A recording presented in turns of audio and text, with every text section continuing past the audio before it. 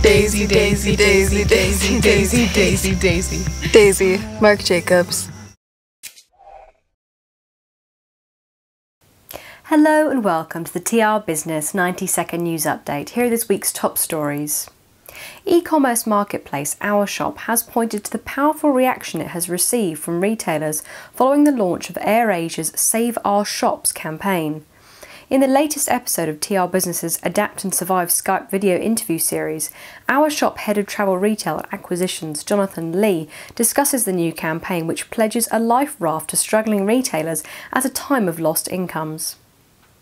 Lagardère Travel Retail has officially announced the reopening of its 88 stores at Wuhan International Airport Terminal 3 in China, as first reported by TR Business. The reopening of the airport and the retailer's retail and food and beverage outlets on the 8th of April marked the end of a 76 day lockdown in the city due to the COVID 19 pandemic.